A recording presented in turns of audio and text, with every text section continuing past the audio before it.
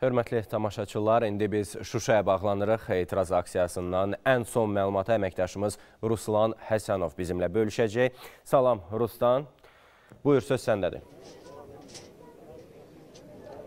Salam sizi və tamaşaçılarımızı Şuşadan keçən Xankəndi Laçın yolunda ekoloji fəalların başlatdığı aksiyadan salamlayırıq. Artıq aksiya 7 gün 7 gecədir ki, fasilə verilmədən davam etdirilir. Onların şüarları da dəyişməyib və bildirilir ki, aksiya heç bir siyasi mahiyyət daşımır. Tamamilə dinç aksiyadır və tələblərimiz yerinə yetirilməyənə qədər biz buradan bir addım da olsa belə geri çəkilməyəcəyik. Konkret sizdən soruşaq, tələbiniz nədən ibarətdir? Özünüzü təqdim eləyin. Fərid Mustafayev, Ameliyat Torpaşnası və Aqrokimyası elm işçisi. Bizim tələblərimiz yalnız birdir.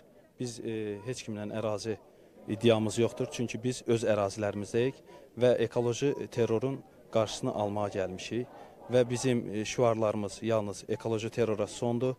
E, nə qədər ki, ekoloji monitorinqə icazə verilməyəcək, Azərbaycan vətəndaşı bu sədlərin qarşısından bir addım belə geri çəkilməyəcək. Və burada bir dünya sülh mesajı da verildi və bu aksiya mən deyərdim ki, dünya aksiya tarixində yeni bir mədəniyyət gətirdi, mədəniyyət bəxş etdi.